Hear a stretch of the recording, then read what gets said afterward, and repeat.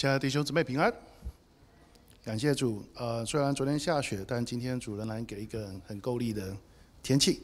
那不管在什么状况之下，我们都赞美主。不管你是在现场或在视讯中，都请大家准备好心。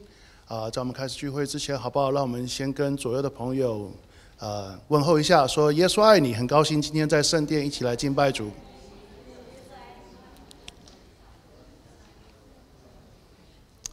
好啊，那我们先简单一下看一下这周一些重要的家训报告。首先，二零二二年奉献收据，奉献收据已经准备好，请到一零四室领取。如无法亲领或收取，邮件者可以电邮 James 呃执事，呃，email 是 James at Canada at gmail dot com。再来是言语光青年团契 Slab，周五三月三号开始改为晚上八点到九点半聚会。言语光大庄团契将于三月三十一日周五晚上举行敬拜赞美会，欢迎年轻人参加。呃，参加者可以联络 Pastor Cannon。呃，这里年轻人没有指年纪哈，不要自己对号入座。你想参加的话，也可以一起参加。再来同在堂年度。童工退休会将于四月十五号周六九点半到四点钟，在基督敬拜中心 Sorry 室，主题是在基督里合一。讲员是何坤松牧师，国语部分、英文部分是由 Don Wang 牧师来主持。啊，邀请教会所有参加服饰以及愿意参与服饰的弟兄姊妹一起来学习。呃，其中被午餐招待，呃，报名的网址在上面，请大家自己看。再来是受洗真理班，上课时间已经从二月十九号到三月二十六日，每主日下午两点半到四点半，在教堂二楼二零九房间。呃，其实也不一定是为这次准备受洗的慕道者，假如说你是慕道者，但还没有受洗的话，也可以来听听真理受洗班。再是每周出在线上守圣餐的受洗信徒，可在周间九点到五点到教会领取圣饼跟圣杯。姐妹团契聚会，二月二十八日，本周二早上十点钟在教会举行实体聚会，讲员是曹传道，欢迎大家参加。最后，教会请大家预留日期，在二零二三年四月一日上午十点半至十一点半。对象是所有邀请所有教会同工长职小组师班儿童以及所有事工负责人参加。讯息是教导大家如何教堂设施使用说明会，详细的讯息已经发到每一个事工部，有问题的可以联络杨青青姐妹。好，我们现在奉耶稣基督的圣尊名开始今天的主日聚会。在我们聚会开始之前，让我们起立来宣读一段圣经上面的话语。记载在诗篇一百一十一篇，我们一起来宣读神的话。你们要赞美耶和华，在正直人的议会中和大会里，我要全心称谢耶和华。他的作为满有尊荣和威严，他的公义永远长存。他使人纪念他所行的奇事。耶和华有恩典。有怜悯，他赐粮食给敬畏他的人，他永远纪念自己的约，他手所做的都是诚实和公正，他的训词都是可信靠的，他向自己的子民施行救赎，他命定自己的约有到永远，他的名甚甚可畏，敬畏耶和华是智慧的开端。凡是这样行的，都是明智的。耶和华该受赞美，直到永远。阿门。让我们一起来做个祷告。亲爱的耶稣啊，感谢赞美你，感谢你用你的慈爱跟恩典，再次带领的百姓来到你的面前。主啊，是的，你的名是可畏的，你的名是值得称颂的。主啊，求你将你的名设立在你的宝座中。主啊，让我们今天的敬拜赞美都能够达到你的喜悦、你的平安与喜乐，能够赐福每一个寻找你的人。主啊，求你用你的宝血洁净遮盖我们，你让我们知道，透过主耶稣你的宝血，我们再次可以回到你的面前。透过主耶稣你的宝血，主啊，你不再纪念我们的过犯。透过主耶稣你自己的宝血，你让我们知道，主啊，我们仍然是属于你的百姓。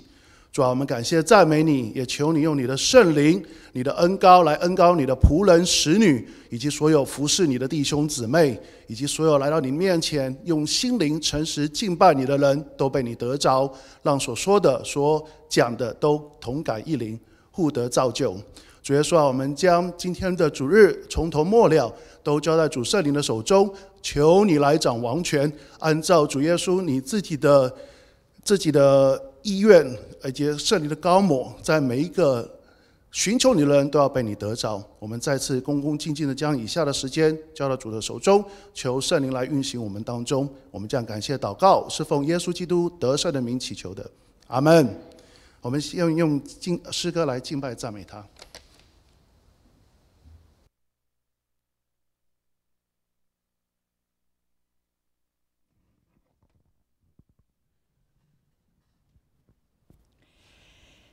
你们要向耶和华唱新歌，全地都要向耶和华歌唱，称颂他的名，天天传扬他的救恩。凡有气息的，都要来赞美他。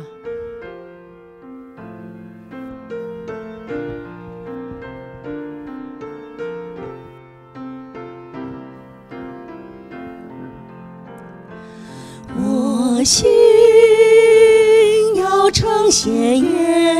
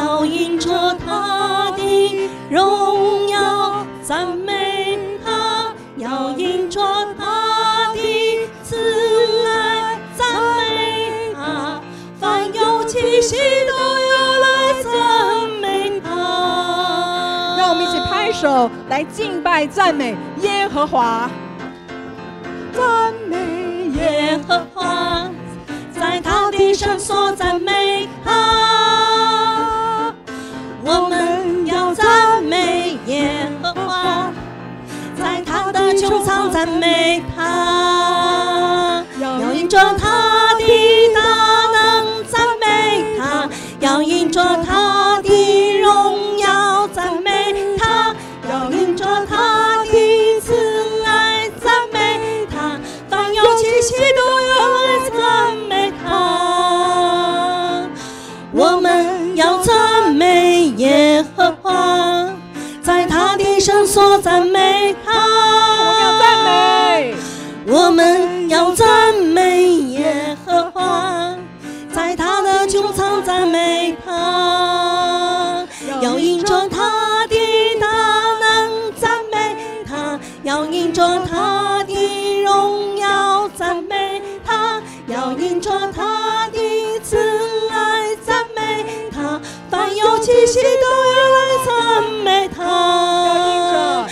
跟着他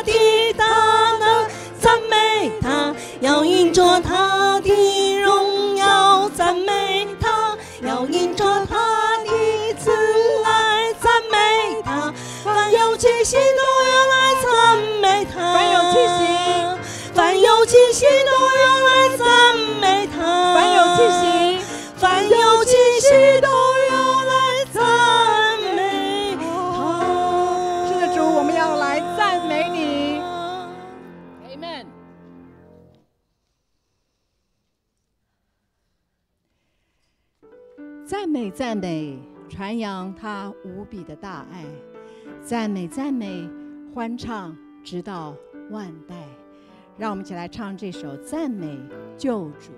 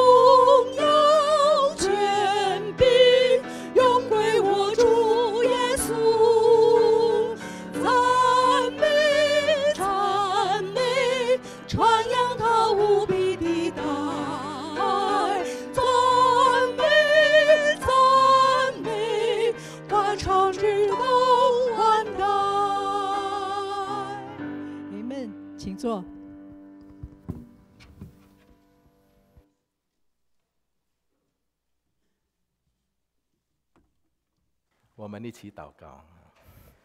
感谢主，今天早上弟兄姐妹们可以在圣所一起唱赞美的诗歌。感谢我们的主耶稣，你是配得我们众人赞美的，因为你曾经背起你的十字架，为我们世人的罪来死。你不该死，我是该死的。你没有罪。我是犯罪的人，但是主啊，你爱我们，为我们来受死，我们怎不能不赞美你呢？感谢主耶稣为罪人的罪来死，从死人当中复活，今日是活着的救主，叫我们仰望他、信靠他的人，可以得到赦罪之恩。可以得到永生之福，我们感谢你，我们赞美你。现在你的白净安静心，要聆听主话，求主讲，你的仆人们静听，奉主耶稣基督的名，阿门，阿门。我们感谢主，现在是我们分享主话的时刻。今天要看的经文比较长，《创世纪》第十章还有第十一章。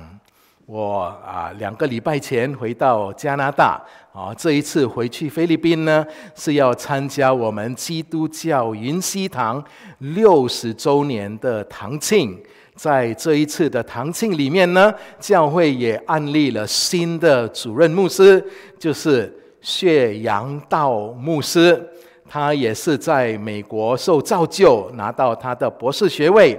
后来呢，就回到菲律宾去牧会。他在基督教的学校里面当校牧，也在教会的事工当中当我们的。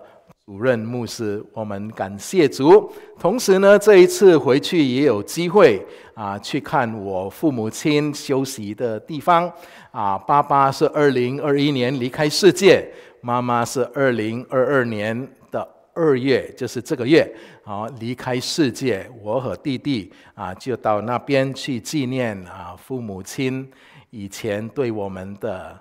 啊，恩典啊！感谢主，爸爸在他人生最后一个阶段，他接受了耶稣基督做他个人的救主，所以现在和妈妈两个都安息主怀。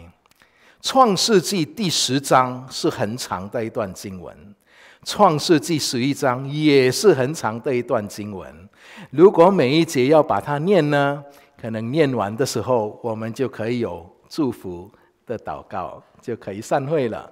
但是呢，求主帮助我们，今天来看这两章的经文。创世纪第十章讲到三件事，是什么呢？先看第一节和最后一节。第十章的第一节如此说：以下是挪亚的儿子闪、含、雅父的后代。洪水之后，他们都生了儿子。就写了很多儿子的名字，这是第一节。最后一节呢是三十二节，是说这些宗族都是挪亚的子孙，按着他们的族系住在列国中。洪水之后，地上的列国都是从这些宗族分出来的。洪水之后，挪亚和他的家庭，他们经过洪水的审判。但是不是审判他们，因为他们敬畏耶和华，主保守他们。经过那一次的灾难，他们离开这个大方舟的时候，一家八口，我们中文字船，然后有舟有八有口，一舟八口呢，就得到耶和华上帝的祝福和吩咐。在创世纪第十章里面讲到三件事，第一就是雅福的后代。圣经说，雅福的后代包括割灭、麻各、麻代、雅元和其他还有很多名字。第三代雅福是第一代、第二代、第三代雅什基拿、利法托加玛和其他还有很多的名字。两代人就是雅福下面的两代人。再来呢是讲到韩的后代，讲到韩的后代的时候呢，讲到三代人有古时埃及、福迦南，有再下去一代西巴、阿菲拉、沙菲、沙夫他、拉玛，还有其他很多的名字，还有斯巴，还有低旦三代。再下去呢是讲到闪的后代。闪的后代呢，就讲到五代人。第一代以兰、亚发沙，还有其他很多的名字。第二代呢是乌斯、沙拉，还有其他很多的名字。还有希波，应该还有其他人，但是圣经没有记载这些人的名字。再下去，发勒、约丹，以后呢，阿摩达，还有其他的，有一些名字的颜色是红色的。什么意思呢？当然，圣经里面没有把这些红色的名字分别出来。这个红色是我自己放上去的，是什么意思呢？就是说，这些人是亚伯拉罕的祖宗。以后我们会讲亚伯拉罕的信息，我们的时代传道会帮我们了解亚伯拉罕在救世的计划里面扮演的角色。那么第十一章呢，就讲到两件事。十一章呢，讲到巴别塔，以后又讲到闪的后代。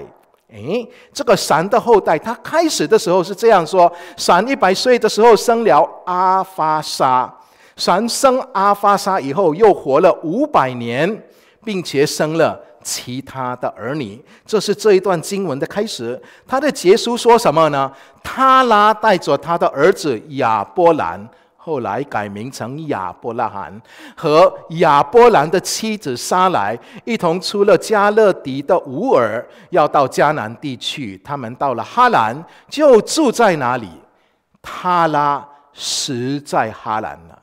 所以在创世纪十章这个家谱里面呢，讲到有闪和他的后代，一代一代阿发沙、沙拉、希波、发勒、拉乌。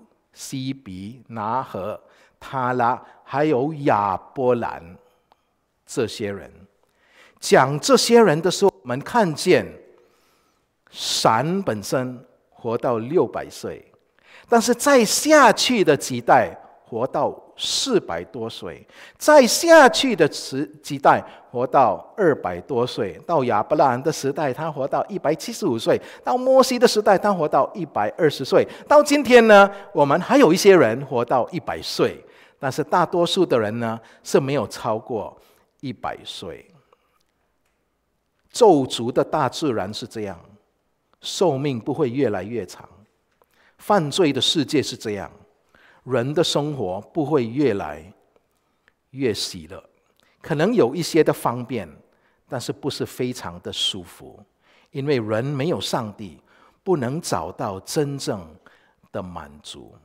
看这个家谱的时候，闪他来了，他生孩子，他死了；阿发沙来了，他生了孩子，他死了；沙拉来了，他生了孩子，他死了。到第九个他拉。他生了亚伯拉罕，不久他也死了，剩下什么人？亚伯兰，什么意思呢？亚伯兰的父亲还活着的时候，上帝没有直接向亚伯兰讲话。等到他父亲离开了，上帝的话语就临到亚伯兰，把应许告诉他，把耶和华的心意的计划告诉他。为什么要等到他父亲离开，才和他讲呢？圣经说要孝顺父母，就给你福，属天的福，但是也有属地的福，叫你在这块地的年日长久、长寿。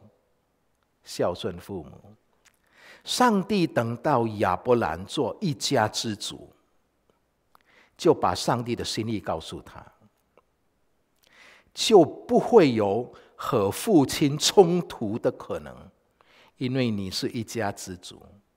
上帝要一个新的开始，你我的上帝就是这样，这是一个属灵的恩典，也是一个属灵的真理，也是一个属灵的原则。耶和华上帝是赐给你我全新的开始的上帝。这是什么东西？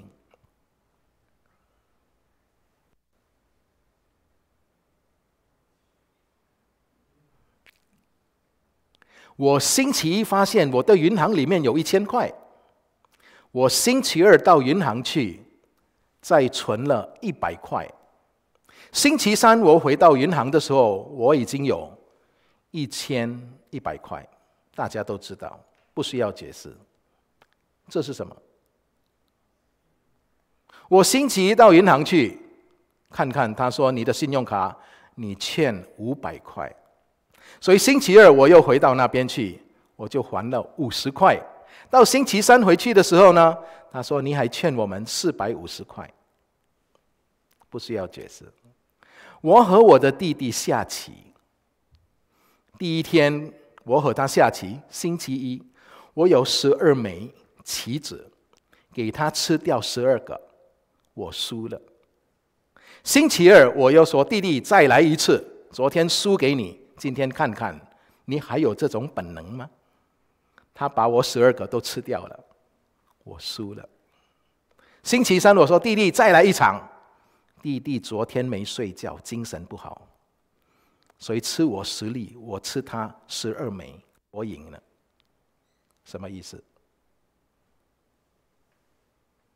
弟弟，我们打乒乓球吧，他有三分。他再打一分，就加上去四分，弟弟赢了。这四个东西是什么意思？银行、信用卡、跳棋、乒乓，什么意思？银行我星期一来一千块，到星期三来一千一百块，但是我星期二只存一百，我存进去是一百块，加上去。信用卡我欠五百块，付了五十块，哎，还有四百五十块。我和我的弟弟下棋的时候，我第一天来有十二枚，第二天来呢，他昨天不是十二枚都吃光了吗？应该开始我是零分呢，没有，我又十二枚。星期三再来呢，又是十二枚开始。我和弟弟打乒乓球，星期一开始零比零，我输了。第二天又来，又从零比零开始，是不是？这叫新的开始。银行不给你新的开始，信用卡不给你新的开始。我们下棋可以有新的开始，所以每一次下棋都有盼望。我可能今天会赢。每一次打乒乓球，今天有盼望。虽然昨天输了，前天也输了，可能今天会赢。为什么？零比零开始。上帝就是这样。不是像银行，不是像信用卡，不给你新的开始，旧的账每一条都要算，你欠多少钱就是多少钱，不会擦掉的。但是圣经告诉我，告诉你，若有人在基督里，他就是新造的人，旧事都已经过去了。他是赐给你全新开始的上帝，所以每一天在基督里都是新的。我们要学习一个属灵的操练，把旧的黑暗、旧的失败、旧的眼泪、旧的痛心交给他，说：“主啊，可不可以把它收起来，给我一个新的开始？”是这么奇妙。我们在人生的过程，常常会犯一些错误，有时候不是故意的，有时候是故意的。但是不管故意不故意，错误就是错误，就是要受苦。上帝会给你全新的开始，但是你要愿意把这些东西交托给他，他把它擦掉，旧事一过，全是新的。在你人生里面，是不是曾经有这种想法？说：“哎呀，如果再重新来，我不会这样做的，我不会这样决定的，我那个答案不会写这一个答案的。”会不会有这种感觉？我们都会有。下棋也是，哎呀，下了这一步完蛋了，商量一下，可不可以这个再收回？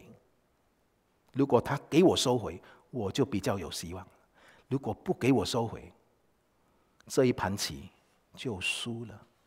我们开车的时候也是这样，高速公路找错出口了，浪费了十分钟、十五分钟。哎呀，如果我注意，如果我精神一点，刚刚才开车不是这个出口，是下一个出口才对。没有办法，已经过了。考试也是这样，你第一次考试九十多分，第二次九十多分，第三次五十分。哎呀，我希望这个五十分可以再考一次。老师，我那天病了，我肚子痛、头晕，所以真的不行。可不可以再给我一个机会，再考一次？如果老师说好啊，你不是很喜乐吗？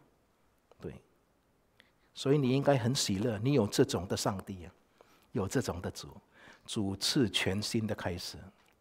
彼得是耶稣的门徒，他还没有做门徒的时候，有一次耶稣在海边讲道，讲道的时候很多人。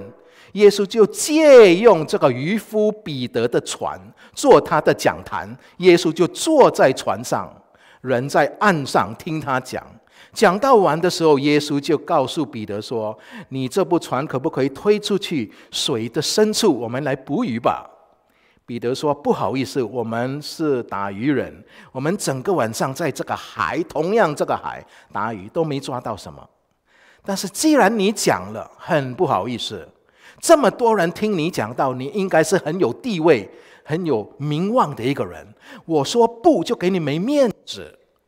所以，因为你既然讲了，好了，我就试试吧。但是我是没有信心、没有希望的。退出去的时候，他们抓到的鱼一部船都放不下。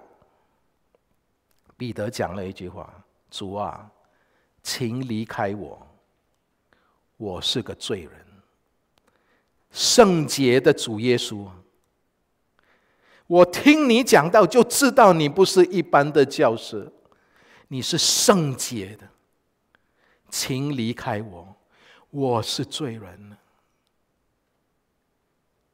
耶稣说什么？不要怕，从今以后，你要得人如鱼，以后你不是抓鱼，不是捕鱼了。你是得人，人比鱼宝贵啊！你捕鱼不是要卖吗？不是要给人吃吗？不是为了要服务人类吗？我告诉你，不要这些鱼，要那些人。从今以后，你要得人，如你得鱼这样。你看今天你得了这么多，不能容纳。是的，你就跟我吧。彼得就跟随耶稣。后来，耶稣为了你我的罪，他上十字架，他死在那边。但是，耶稣是生命之主，死亡没有能力、没有权柄、没有资格限制他的生命，所以他从死里复活。从死里复活的时候，他向他的门徒显现，但是显现以后又不见，见又不见，见又不见。彼得告诉他的同伴说：“我打鱼去吧。”他的同伴说：“我们也和你一起去吧。”以前的耶稣和今天的耶稣不一样。以前的耶稣一来说：“跟随我，我们就跟他。”早上睡醒，耶稣在那边；早上要睡觉，耶稣还在那边。耶稣讲到我在那边，耶稣醒神经，我我们两个二十四小时都在一起的。那现在这个耶稣有时候见，有时候不见，有时候又出现，有时候不出又不出现，我很难呢。我怎么跟随一个有时候出席、有时候缺席的老师呢？的师傅呢？我打鱼去吧。打鱼打鱼，什么都没，零分回来。岸上有人说：“哎，暂时不要回来。你们打到鱼吗？”他们说没有，他说把网放在船的另外一边啊，网放在另外一边，这边的海难道不是那边的海吗？他们就放下去了。太多了鱼。船上的人说：“是主啊，是主耶稣。”耶稣说：“来，你们想鱼嘛？所以一起吃早餐啊，啊，吃鱼吃面包一起吃。吃完的时候，耶稣问彼得：‘你爱我比这些更多吗？’这些鱼很多啊。以前你不是已经决心不得鱼要得人了吗？今天为什么你又回去？”那个你放下的那一套，得鱼不是得人。彼得，你爱我多过这些吗？彼得说：“主啊，我爱你。”耶稣再问一次，他说：“是。”耶稣再问一次，彼得说：“主啊，你什么都知道，你知道我爱你。”耶稣说：“是的，喂养我的小羊，牧养我的羊。”牧养我的小羊，最后他说什么？你来跟随我。耶稣的心意没有改变，你来跟随我。主啊，我是罪人，不要怕，跟随我，我们一起得人，不是得鱼。彼得又去打鱼了。耶稣再一次说：“你来跟随我。”失败的彼得经历过这一句话。主赐全新的开始，你也要让你自己经历这一句话，把你的过去，你不喜欢的过去，破你新的过去，交托给主。你说：“主啊，给我一个新的开始，我需要一个新的开始。”主会给你，因为他是赐全新开始的上帝。若有人在基督里，他是新造的人。这讲到救恩，主创全新的开始，讲到我们一生每一次有东西伤害你，每一次错觉、灰心、失败、黑暗、犯罪、跌倒，主啊，你给我一个新的开始。这叫赦罪的恩典，赦免。不算了，所以说耶和华的愤怒不是长久的，不是永远的，因为有赦罪之恩。求主帮助你我，经历全新的开始，经历全新开始的主主次，全新的开始。创世纪十一章的第一部分是讲到巴别塔。巴别塔是这样说：那时全世界只有一种语言，大家说同样的话语。他们向东迁移的时候，在施那地发现一块平原，就住在那里。他们彼此说：“来，我们要做砖，把砖烧透了。他们就把砖当做石头。”又把石叉石漆当做废女灰灰女，他们又说：“来，我们建一座城，造一座塔，塔顶要通天。我们要为自己立名，免得分散在全地上。全世界有一种语言，单语。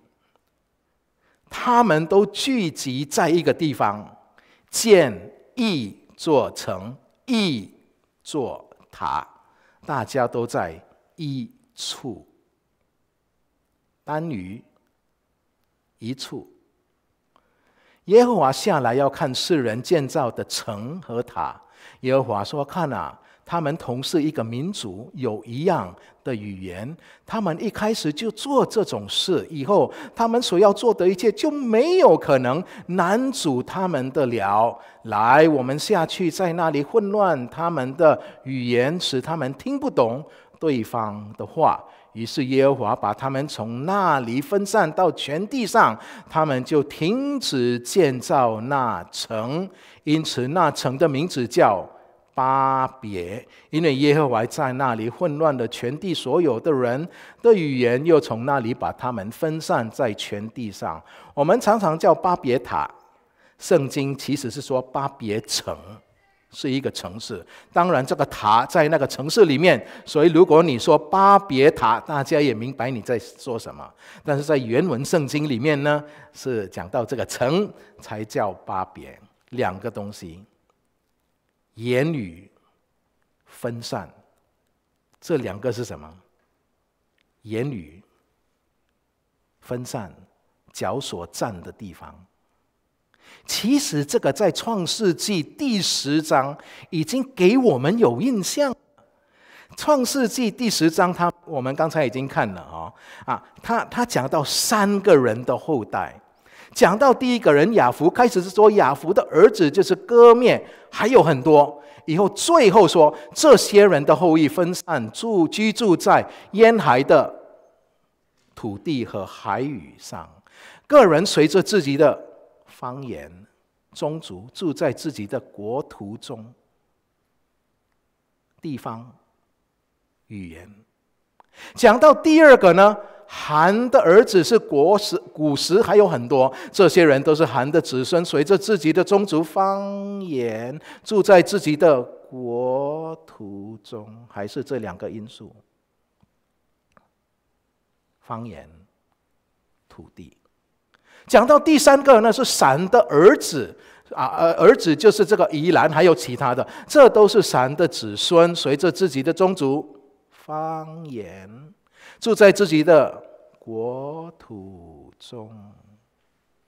洪水之后是这样，大家语言都不一样，因此住的地方也不一样，从单语到多语，从一处。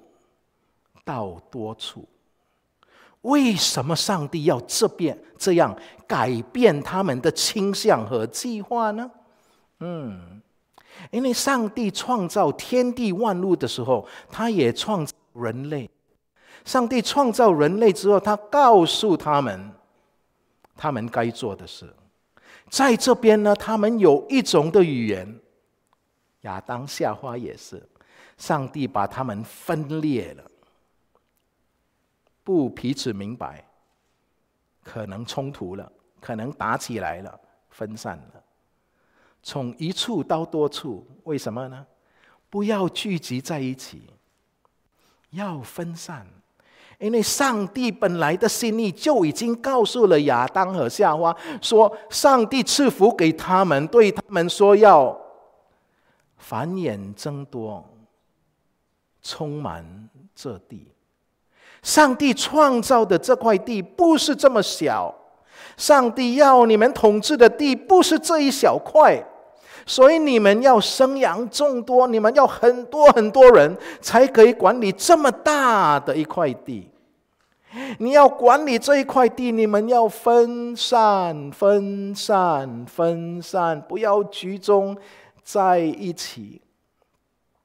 但是亚当和夏娃呢，被魔鬼引诱了，所以他们就吃了不该吃的东西，所以那天开始死亡的过程就启发了，慢慢会死了，到有一天完全就没有生命了。到第二代人呢，是该隐和第二代人亚伯。什么人杀什么人呢？亚伯、该隐，什么人杀什么人呢？该隐打死了自己的兄弟亚伯。哎呀，这和第一代什么不一样呢？第一代亚当夏娃也是进入死亡，亚当夏娃是自杀，自己的手拿果子，自己的手把果子塞进嘴巴。自己的牙齿来咬，他们是自杀而死。第二代是什么呢？亚伯不想死，他想活。该隐不给他活，就把他杀死，不是自杀，杀人。到创世纪第六章，挪亚的时代，圣经说大地充满强暴。杀杀杀杀杀杀，全地都是血。所以耶和华上帝用洪水灭了那一代，留下八个人：挪亚和他的家人。向挪亚说：“你们要繁衍增多，充满大地，因为我的心意没有改变。我告诉亚当和夏娃要生孩子，要管理整块地，不是一小块。现在轮到你了，挪亚和你三个儿子。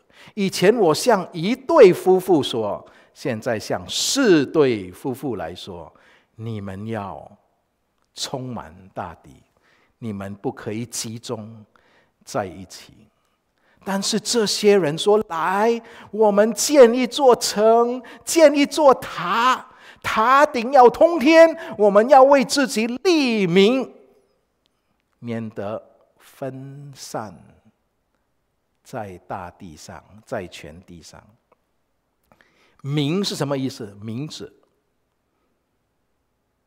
聚会结束，你在外面找到一本圣经，这圣经从哪里来？应该拿到什么地方去？你就翻开第一页，哎，写时代传道，什么意思？他的，你找到了这本护照，在飞机场翻起来说，哎，有一个人的名字是谁的？名字就是你，名字就是你属谁？所以在启示录里面说，什么人的额上有锈的记号，耶和华的愤怒临到他身上。到新城耶路撒冷的时候，那些属上帝的人住在这个有火、有生命和生命树的这个城市里面，他们的额上有羔羊的名字。解经要这样解经，圣经讲到额上有名字。我们常常说在哪里看你的头，看我的头。在新城里面，这些人都有羔羊的名字在额子上，说他们是属羔羊的。所以这本护照有一个名字，这本护照是那个人的。这本圣经有时代传道的名字，这本圣经是他的，属他的。讲到主人，这边什么人是主人？看红色的字。不是上帝，这叫团结，这叫合作。团结反抗，合作对抗上帝。上帝说不可以这样，只有一个名字，不是你们的名字。他们不分散，免得分散在大地上。团结是好。但是，当团结变成抵挡上帝的旨意，违反上帝的诫命，这种的合作是双倍的危险，双倍的可怕。所以，上帝叫他们分散。第一，分裂他们的语言。语言是为了什么？上帝给我们有语言的本能，叫我们可以怎么样？可以明白他的真理。你怎么明白上帝的圣洁？圣洁看得到吗？圣洁收在冰箱里面吗？圣洁收在你的口袋里面吗？收在你的书包里面？圣洁看不到的。所以一只狗不知道什么是圣洁，一只狗不知道什么是公义，一只狗不知道什么是人权，更不知道有狗权。你不能思想。这种东西，除了你有语言的本能，上帝给我们有语言的本能，就是叫我们可以明白他的真理，接受他的真理，服从他的真理，让他的真理来祝福我们，叫我们可以明白上帝的心意、上帝的思想、上帝的心，那个意思。语言也叫你我可以沟通。小狗出去外面。嘴巴上有一块骨头，碰到一只大狗，大狗把它的骨头抢了，小狗没有办法，它比我大，就回去，狗的妈妈在那边，他怎么报告？说我刚才有一只骨头，碰到一只狗比我大，把我抢了，妈妈，你可不可以去骂他、对付他？孩子可以这样做。爸爸，我今天去学校，我的铅笔被一个比我大的孩子抢了。爸爸不在场，他听了，他明白发生什么事。狗没有办法重复，狗没有办法报告昨天发生什么事给狗妈妈听。没有语言，狗一有语言，我们就麻烦了，真有狗权了。对，上帝给人语言，但是这边怎么样？本来大家都可以沟通，一种语言就不需要翻译员。一种语言的印什么东西就不需要双语的，一种就可以。为什么？因为他们抵挡，因为他们用语言来讲，我们不要离开这个地方。耶和华要我们分散，我们就不分散。我们来造我们的城，我们造我们的塔。到天上，就意思说，你不管走了多远，因为草都吃完了，你带你的羊太远了，你转头看那个最高的就是那个地方，你就回去那个塔，他叫你可以回归。那什么中心？什么中心？人为中心。所以上帝把他们的语言分裂，是惩罚他们。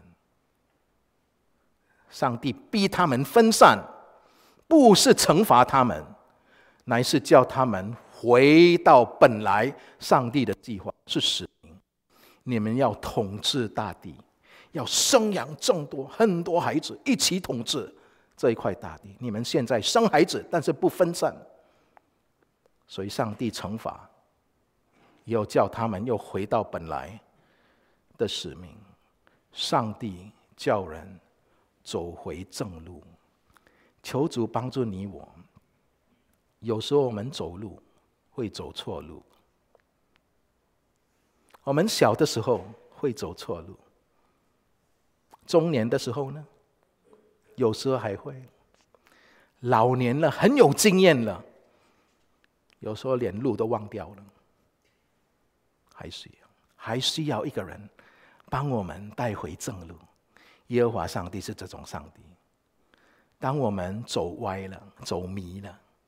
他会慢慢把我们带到他的正路里面，求主帮助我们亲近这一位上帝，因为他是赐全新开始上帝，他也是叫人回归正路的上帝。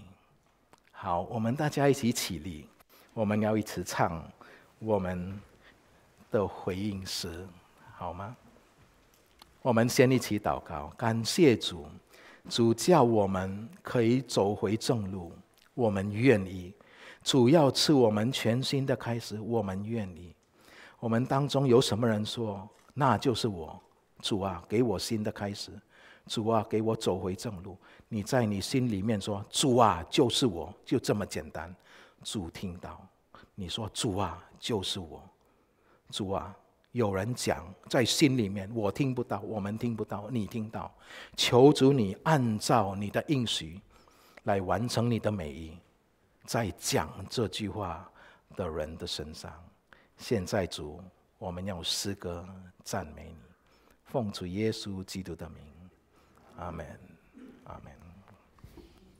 让我们来唱这首回应诗：信靠耶稣，真是甜美。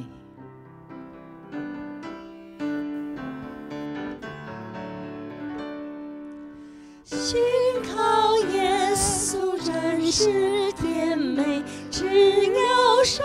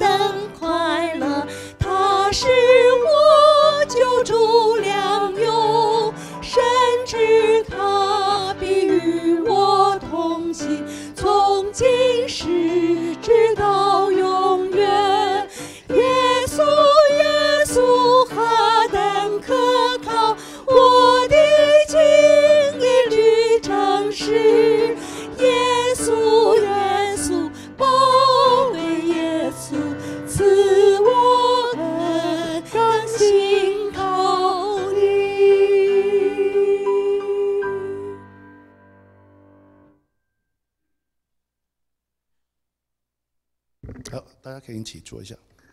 呃，我们来欢迎一些呃新朋友。我们今天有蛮多一些新朋友。当我叫到你的名的时候，请你站起来，让我们来欢迎你。首先是呃万良慧姐妹跟她的孩子，呃，请站起来，谢谢。OK，呃，都是来自中国的，我们欢迎你来到我们的当中，希望以后能够常见到你。呃，再来是易翠罗还是罗易翠姐妹？不好意思，哎，你好，欢迎你，也是中国来的。呃，再来是 Annie 王女士，是冯瑞卡介绍过来的，谢谢，欢迎您。然后还有一位是王燕，欢迎您，谢谢，也是冯瑞卡邀请来的。呃，最后一位是一位呃，应该是姊妹，呃，Hillary Lee。好，感谢主。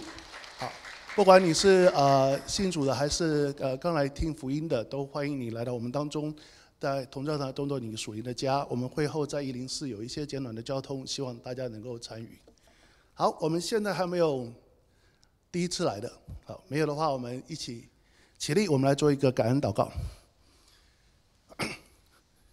亲爱的主耶稣啊，我们感谢赞美你。是的，主啊，你是赐全新上帝的神。主啊，感谢你在这末世的时候拣选我们，让我们听到如此的好福音。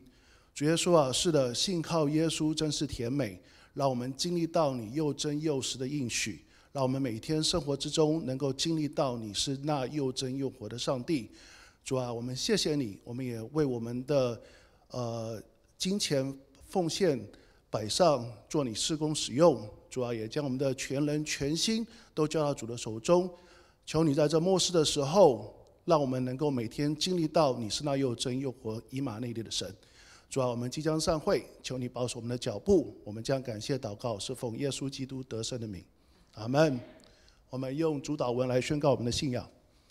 我们在天上的父，肉人都尊你的名为圣。愿你的国降临，愿你的旨意行在地上，如同行在天上。我们日用的饮食，今日赐给我们，免了我们的债，如同我们免了人的债，不叫我们遇见试探，救我们脱离凶恶。因为国度、权柄、荣耀，全是你的，直到永远。阿门。三一颂。赞美真神万福之歌，地上生